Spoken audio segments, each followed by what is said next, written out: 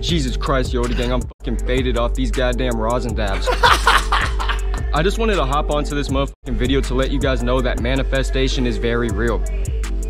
Every single one of you guys is important and valuable, and I know I say that every single video. You guys have the ability to manifest type shit, bro. You feel me? The words you speak out and the things you're thinking in your head, that's what your reality is gonna look like. You feel me? The present moment is all we have. Whatever we're doing in the present moment is ultimately what we're gonna manifest, Yoda gang. And we can manifest whatever we want. You feel me? We're powerful at the end of the day. Every single one of you guys watching this is valuable and important, bro. You guys see me doing this shit every single day, bro. I'm manifesting this shit. I'm speaking this shit into existence.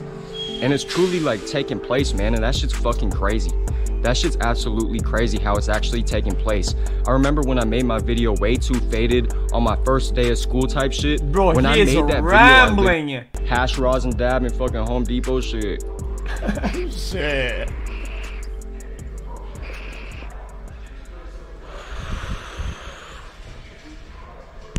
Sheesh.